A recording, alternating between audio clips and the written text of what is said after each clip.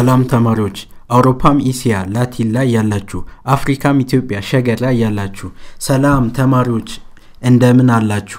ኤኬቲው መጣ እዛው ቤታችሁ እያልኩ ትምህርቱን የሚያቀርብላችሁ ሙራድ ሲሆን ዛሬ የምንማረው የአምስተኛ ክፍል የህብረተሰብ ትምህርት ነው። ክፍል ትምህርት አራት የክርስትና እስልምና ሃይማኖቶች አመጣጥና በምስራቅ አፍሪካ ቀንድ ሀገራት ላይ ያላቸውን እንዴት ገቡ እንዴት ተስፋፉ የሚለውን የምናይ ይሆናል። one point two two ወይም አንድ ነጥብ ሁለት ነጥብ ሁለት የክርስትና እና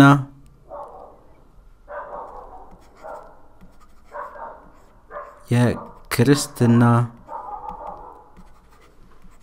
እና እስልምና ሃይማኖቶች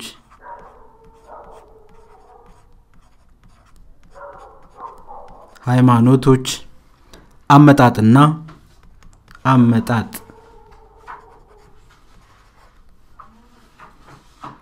አመጣጥ እና በአፍሪካ ቀንድ ሀገራት በአፍሪካ ቀንድ ሀገራት። እንግዲህ ተማሪዎች የአፍሪካ ቀንድ ሀገራት እነማን እንደሆኑ ባለፈው ክፍለ ትምህርታችን ላይ አይተናል። የአፍሪካ ቀንድ ሀገራት የምንላቸው ሀገራችን ኢትዮጵያን ጨምሮ ኤርትራ ጅቡቲና ሶማሊያ። ኢትዮጵያ አራቱ የአፍሪካ ቀንድ አገራቶች ሲሆኑ እስልምናና ክርስትና እንዴት ወደዚህ እንዴት እንደገቡና እንደተስፋፉ በስፋት እናያለን። እስኪ ከክርስትና እንጀምር። የመጀመሪያው ክርስትና።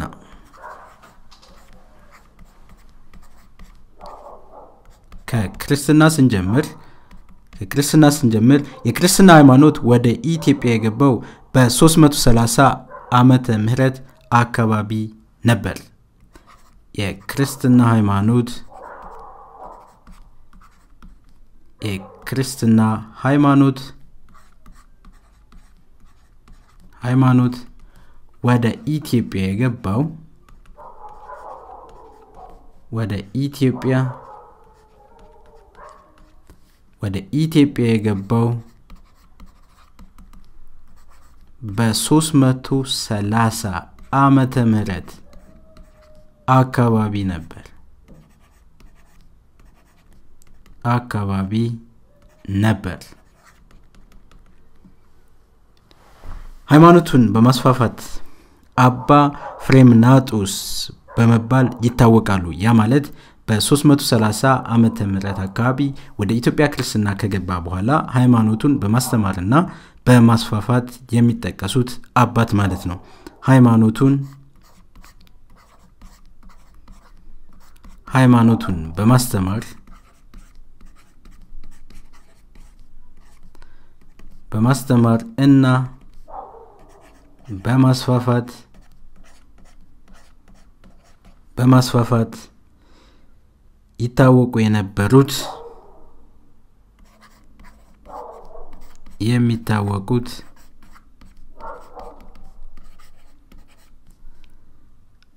አባ ፍሬምናጦስ አባ ፍሬም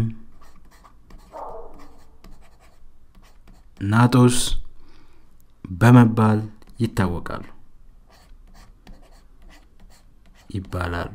እንግዲህ ለመጀመሪያ ጊዜ ክርስትና ወደ ኢትዮጵያ የገባው ወይም ወደ አፍሪካ ቀንድ በ330 ዓመተ ምህረት አካባቢ ሲሆን አባ ፍሬምናጦስ ደግሞ ያኔ ሃይማኖቱን በማስተማርና በተለያዩ የሀገሪቱ ክፍሎች እንዲስፋፋ ያደረጉ አባት ናቸው ማለት ነው። በኢትዮጵያ የተቋቋመው የመጀመሪያው ቤተ ክርስቲያን በኢትዮጵያ በኢትዮጵያ የተቋቋመው የመጀመሪያው የመጀመሪያው ቤተ ክርስቲያን ቤተ ክርስቲያን አክሱም ጽዮን ማርያም ይባል ነበር። አክሱም ጽዮን ማርያም ይባላል። እንግዲህ ለመጀመሪያ ጊዜ የክርስትና ሃይማኖት ከገባ በኋላ የመጀመሪያው አብያተ ክርስቲያን ወይም የክርስቲያኖች ቤተ እምነት የሚባለው የመጀመሪያው አክሱም ጽዮን ማርያም ነበር ማለት ነው። ስለዚህ እጅግ በጣም ጥንታዊ ቤተ ክርስቲያን ነው ማለት ነው። ክርስትናን የተቀበለ የመጀመሪያው የአክሱም ንጉሥ ደግሞ ኢዛና ክርስትናን የተቀበለው የተቀበለ የመጀመሪያ የመጀመሪያው ንጉስ ንጉስ የአክሱም ንጉስ ማለት ነው። ኢዛና ንጉስ ኢዛና ንጉስ ኢዛና ነበር። እንግዲህ በምስራቅ አፍሪካ ከነበሩ ስልጣኔዎች ውስጥ የኑቢያን ስልጣኔ የመጀመሪያው ሲሆን ሁለተኛው ደግሞ የአክሱም ስልጣኔ ነበር። በአክሱም ስልጣኔ ውስጥ የመጀመሪያው ንጉስ የነበረው ኢዛና እና ካሌብ ነበሩ። እንግዲህ ኢዛና ክርስትናን በመቀበል የመጀመሪያው ንጉስ ነበር ማለት ነው። የመጀመሪያው የኢትዮጵያ ጳጳስ የመጀመሪያው የክርስትና ጳጳስ ማለት ነው። የመጀመሪያው የመጀመሪያው የኢትዮጵያ ጳጳስ የኢትዮጵያ ጳጳስ።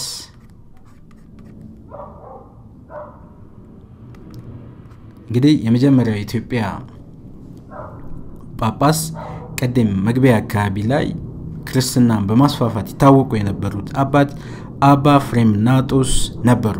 ስለዚህ ይህ የጳጳስ ማድረግም የተሰጣቸው ለሳቸው ነበር ማለት ነው። እንግዲህ የመጀመሪያው የኢትዮጵያ ጳጳስ አባ ፍሬም ናጦስ ነበሩ ጳጳስ አባ ፍሬም ናጦስ ነበሩ ነበሩ ነገር ግን ይሄ ስማቸው ከጵጵስናው በኋላ ስማቸው የተቀየረ ሲሆን ፍሬምናጦስ የጵጵስና ማዕረግ ሲቀበሉ ስማቸው ተቀይሮ አቡነ ሰላም ተብለዋል አቡነ ሰላም። ፍሬምናጦስ አባ ፍሬምናጦስ አባ ፍሬምናጦስ የጵጵስና የጵጵስና ማዕረግ ከተሰጣቸው ከተሰጣቸው በኋላ አባ ፍሬምናጦስ የነበሩት ወደ አቡነ ሰላም አቡነ ሰላም ተብለዋል።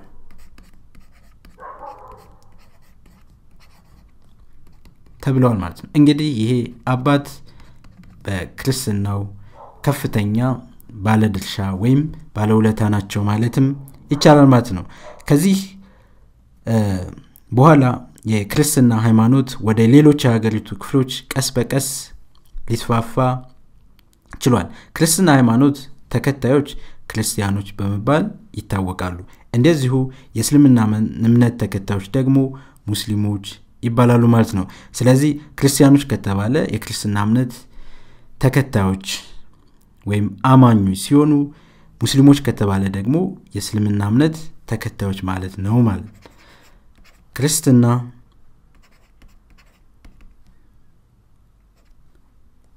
ሃይማኖት ወይም የክርስትና ሃይማኖት ተከታዮች ሃይማኖት ተከታዮች።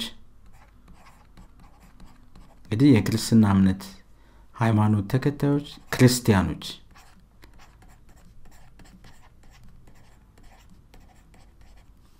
ክርስቲያኖች በመባል ይታወቃሉ ይታወቃሉ። የእስልምና እምነት ተከታዮች ደግሞ የእስልምና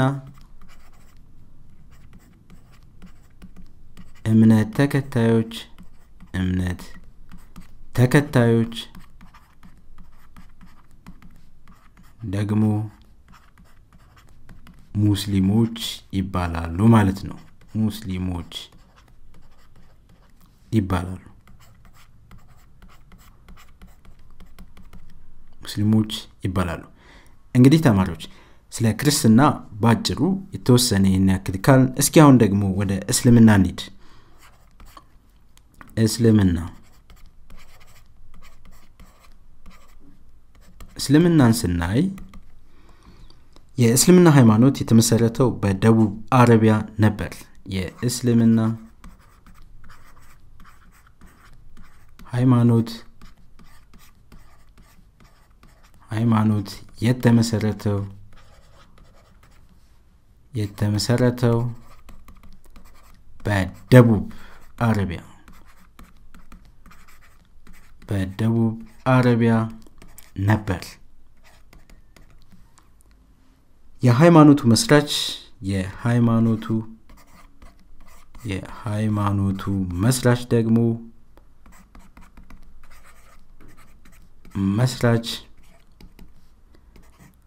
ነቢዩ ሙሐመድ ሙሐመድ ነበሩ።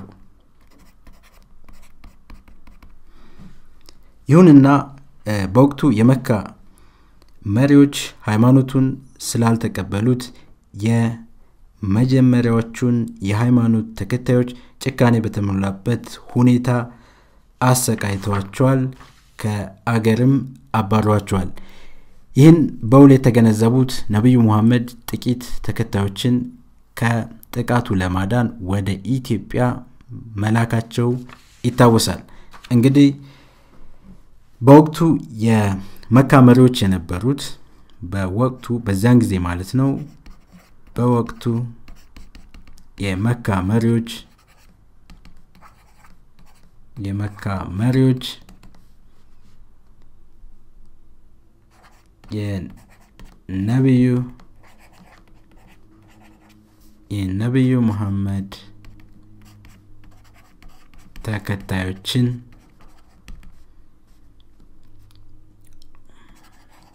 ጭካኔ በተሞላበት ሁኔታ አሰቃይተዋቸዋል አሰቃይተዋቸዋል። ይሁንና ይህንን የተገነዘቡት ይህን የተገነዘቡት ነቢዩ ሙሐመድ እነዚህ ጥቂት ተከታዮቻቸውን በቀጥታ ወደ ኢትዮጵያ እንዲሄዱና የተወሰነ እዚያ እረፍት እንዳደረጉ ልከዋቸዋል ማለት ነው። ይህን የተገነዘቡት ነቢዩ ሙሐመድ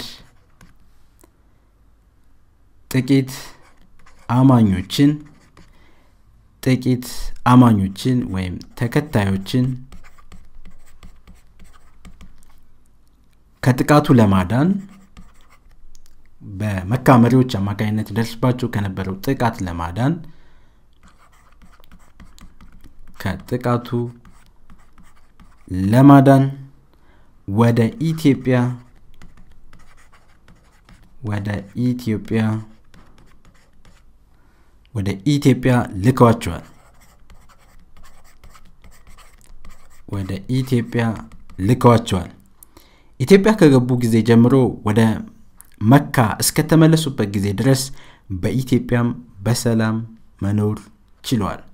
እነዚህ ተከታዮች እነዚህ አማኝ ተከታዮች እነዚህ ተከታዮች ወደ መካ ወደ መካ እስከተመለሱበት እስከተመ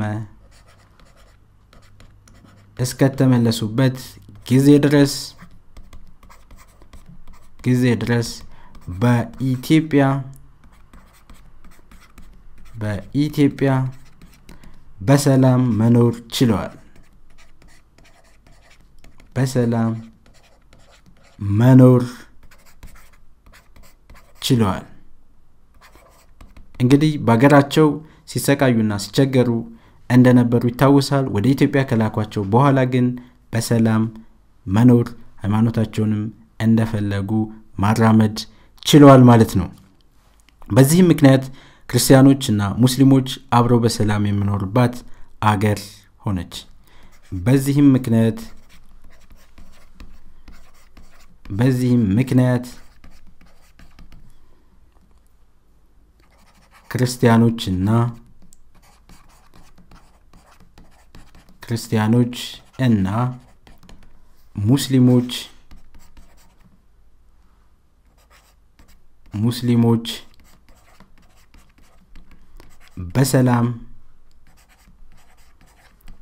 የሚኖሩባት ሀገር ሆነች።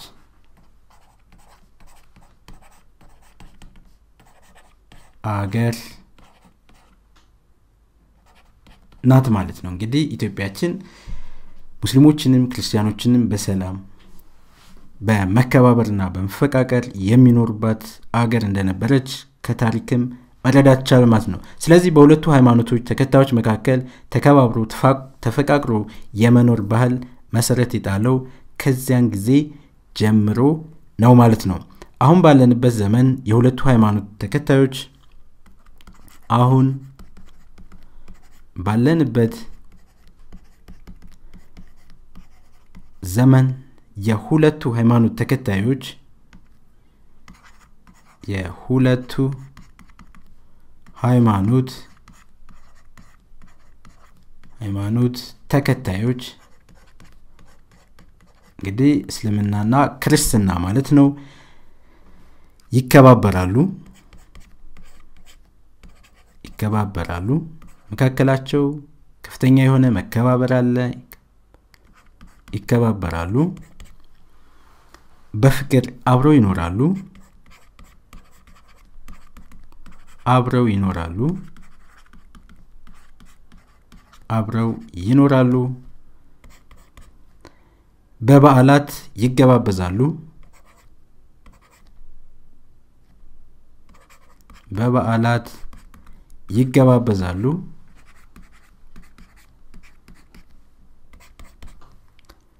የእንኳን አደረሳችሁ መግለጫም ይለዋወጣሉ። የእንኳን አደረሳችሁ መግለጫ ይለዋወጣሉ። እንደዚሁ በችግር በደስታ ወቅት ይረዳዳሉ። በችግር በደስታ ወቅት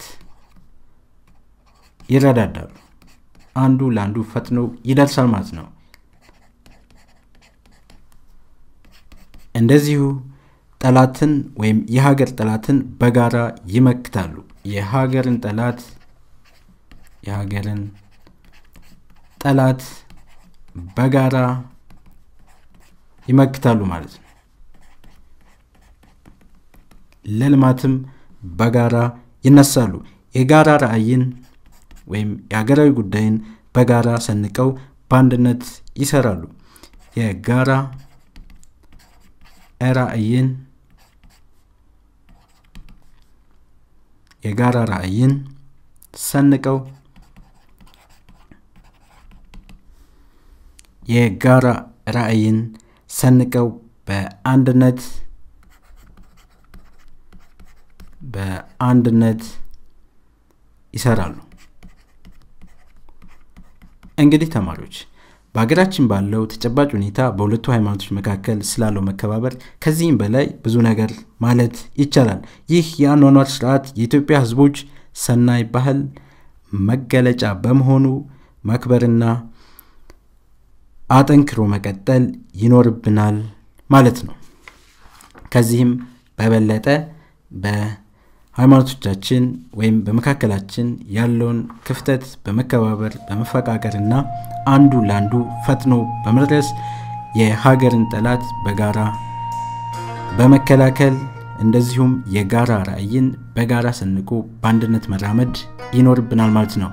እስካሁን ስትከታተሉት የነበረው AK Tube e-learning school ን ነበር።